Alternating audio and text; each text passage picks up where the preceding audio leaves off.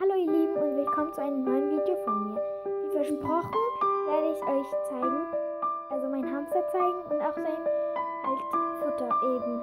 Ja, und wir fangen schon direkt mit dem Futter an. Also Hachiko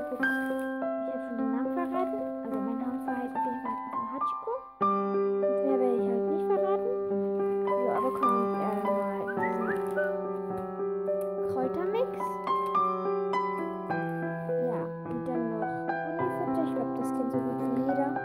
Unser Traum, alle Mischet, alle Kaminwürmer, alles, halt braucht. Und dann habe ich noch ähm, Obst- und Gemüsemix.